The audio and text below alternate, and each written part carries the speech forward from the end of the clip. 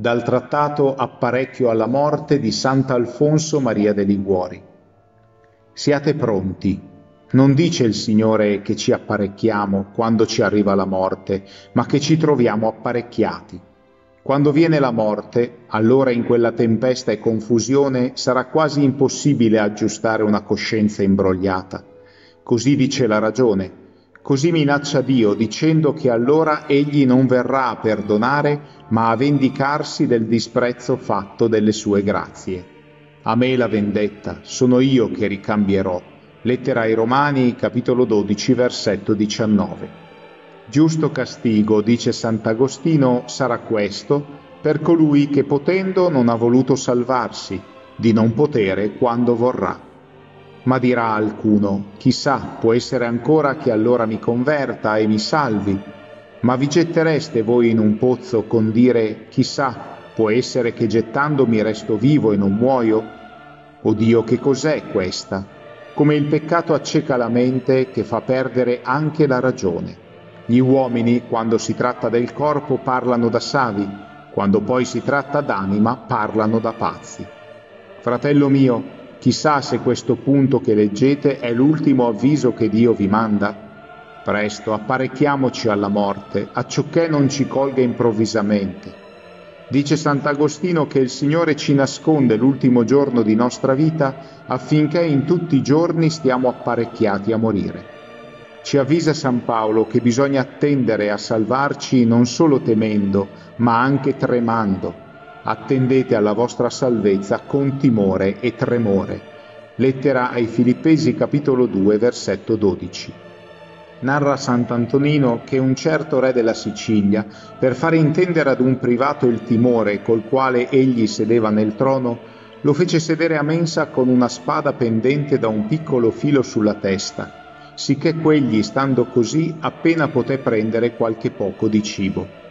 Tutti noi stiamo con lo stesso pericolo, mentre in ogni momento può caderci sopra la spada della morte, da cui dipende la nostra salute eterna. Si tratta di eternità. Se un albero cade a sud o a nord, là dove cade rimane. Libro di Coelet, capitolo 11, versetto 3. Se venendo la morte ci troviamo in grazia di Dio, oh che allegrezza sarà dell'anima, potendo allora dire ho assicurato tutto, oh, non posso perdere più Dio, sarò felice per sempre. Ma se la morte troverà l'anima in peccato, qual disperazione sarà il dire dunque ho errato e dal mio errore non ci sarà rimedio per tutta l'eternità? Questo timore fece dire al venerabile Avila, apostolo delle Spagne, quando gli fu portata la nuova della morte, oh, avessi un altro poco di tempo per apparecchiarmi a morire. Questo faceva dire all'abbate Agatone, con tutto che moriva dopo tanti anni di penitenza, che ne sarà di me? I giudizi di Dio chi li sa? Sant'Arsenio anche tremava in morte e domandato dai discepoli perché così temesse, figli rispose, questo timore non mi è nuovo, io l'ho avuto sempre in tutta la mia vita. Sopra tutti tremava il santo Giobbe dicendo, che farò quando Dio si alzerà? E quando farà l'inchiesta che risponderò? Ah mio Dio, e dove io ho avuto mai uno che mi ha amato più di voi? Ed io chi mai ho disprezzato ed ingiuriato più che voi? O sangue o piaghe di Gesù, voi siete la speranza mia. Eterno Padre, non guardate i miei peccati, guardate le piaghe di Gesù Cristo, guardate il vostro figlio diletto che muore di dolore per me e vi domanda che mi perdoniate.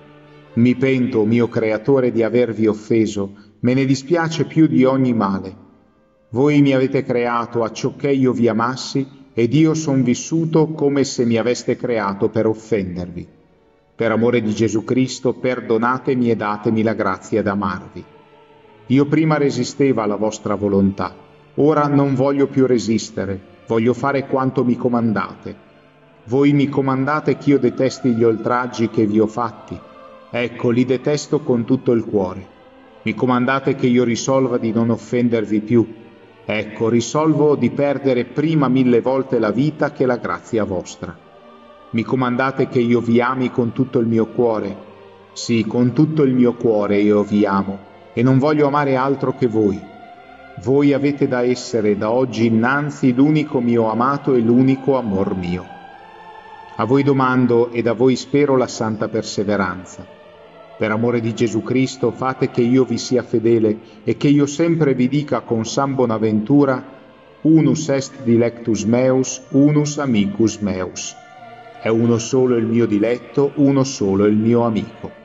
No, non voglio che la vita mia mi serva più a darvi disgusto, Voglio che mi serva solo per piangere i disgusti che vi ho dati e per amarvi. Maria, Madre mia, voi pregate per tutti coloro che a voi si raccomandano, pregate ancora Gesù per me.